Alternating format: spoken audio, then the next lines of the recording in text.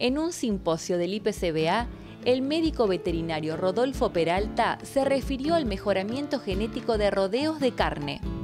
Uno de los factores que más afecta el desarrollo de, los, sistemas productivos de carne es justamente el, clima en su relación con los biotipos o con las razas que se utilizan, etc.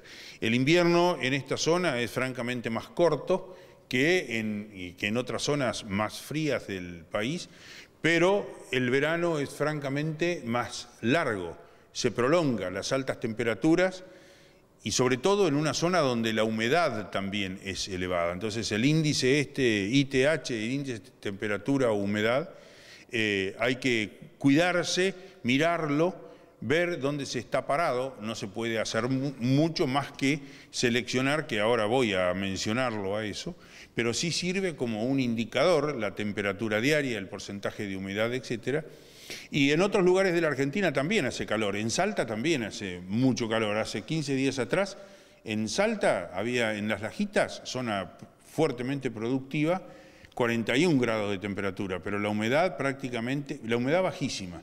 Eso marca si bien también, ¿marca qué? Marca al tipo de animal que tenemos que incorporar. Con humedad también nos marca. Y eso es el, porqué del énfasis en uno de los caracteres de selección de los reproductores, que es la adaptación. Necesitamos individuos y seleccionar por esa característica, entre otras, necesitamos individuos que se adapten al medio ambiente en el cual se tienen que desarrollar. Y por ahí a veces uno tiene las miradas de la gente y es como que eh, pareciera que no es tan importante. Yo creo que es definitivo. Ese es el principio y la fertilidad es el segundo paso, pero que está muy ligada a la adaptación. Y yo como productor, ¿cómo me hago dar cuenta cuando un animal se puede adaptar? Observando, observando la, en el caso de las vacas, observándolas, en el caso de los toros lo mismo, y preguntando deberían ser antecedentes que en muchos casos deberían estar a, disposición de los catálogos. en los catálogos, por ejemplo.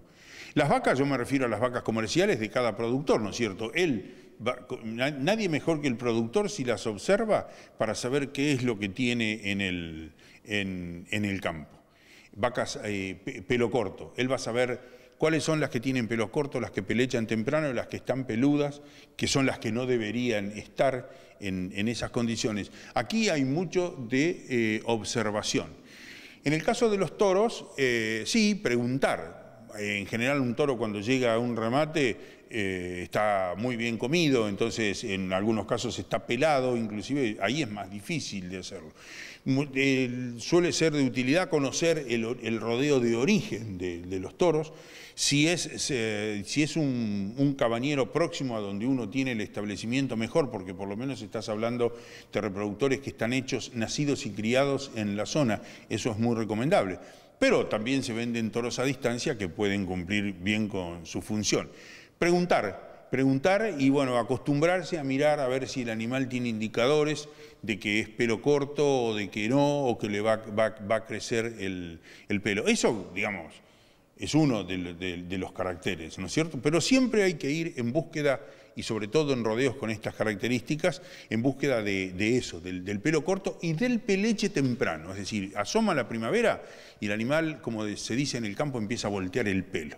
Es un animal que enseguida se le ve en la, parte de la cabeza, el cogote y demás, el, pelo corto. Ahora, eh, es importante la raza y sobre todo el biotipo dentro de las razas. Razas y biotipo. Razas ya sabemos lo que son. Brangus Braford. Brangus Braford, claro.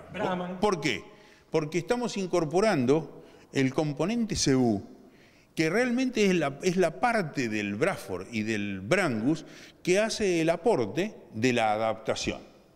La otra parte, la calidad de la carne, la fertilidad, la facilidad de parto, etcétera, la hace el Angus o el Hereford, según de quién hablemos, y eso se denomina complementariedad racial. Quiere decir, cada raza aporta lo mejor de sí. Juntas hacen Bradford de la excelente que tenemos en Argentina y Brangus ni hablar, excelente también y, reconocido hoy mundialmente. Entonces, esas son las estrategias que hay que seguir, consultar, en, fin, que no es tan difícil tampoco, pero Siempre con este cuidado. A la hora de incorporar reproductores, tratar de conocer algo en cuanto a antecedentes de esos reproductores, de la cabaña, de dónde vienen, evaluar si están sobrealimentados o no sobrealimentados y lo que ya hablamos de la adaptación. Esto es básico y por supuesto un buen par de testículos y un buen par de patas y de manos. ¿no? El toro, primera condición, macho, masculinidad visible y un buen par de testículos. Y patas bien correctas que le permitan desplazarse, cumplir con su función de, toro, esa es la función realmente, la de preñar la mayor cantidad de vacas en el menor tiempo posible. Esto es hablando de servicio natural.